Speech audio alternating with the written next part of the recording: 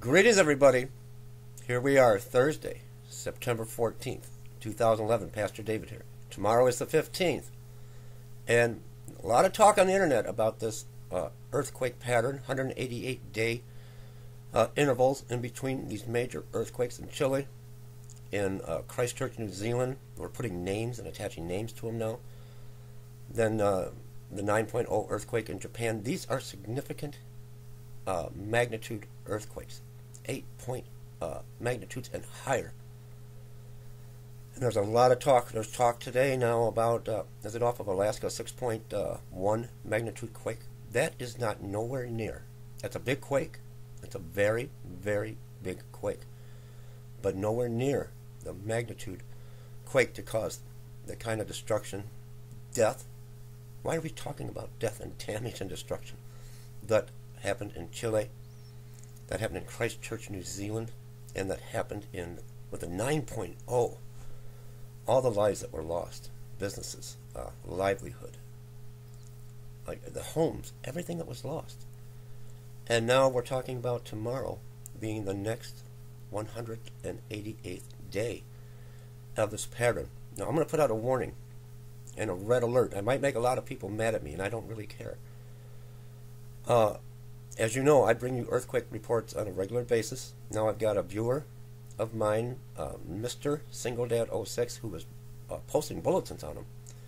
And 7.0, 7.0 in, uh, is very much uh, a pattern nowadays. Look at Vanuatu.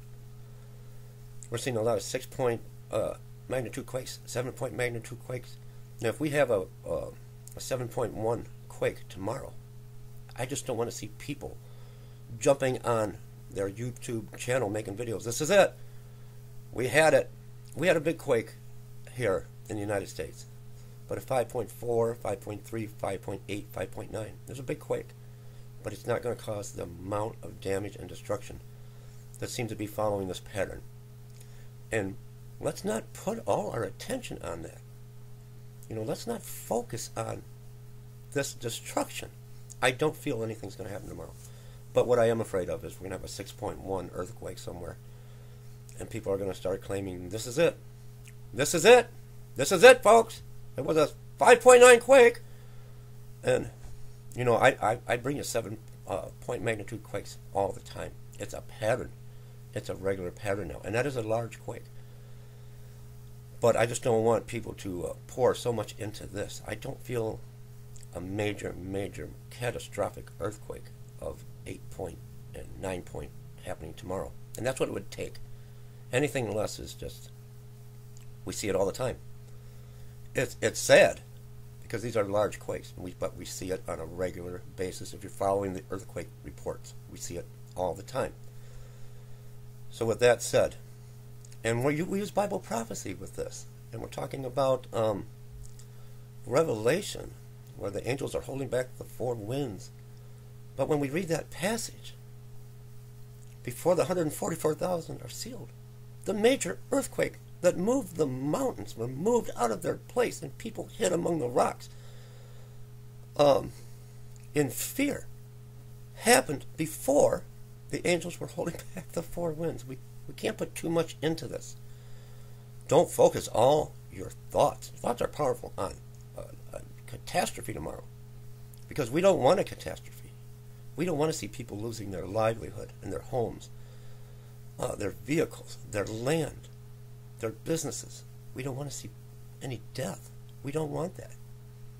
So let's see what happens tomorrow. But it, uh, again, it would have to be a major, major, catastrophic earthquake of a very high magnitude, not a 6.1, not a 7.0, not a 7.1 magnitude quake. That's not going to follow the pattern.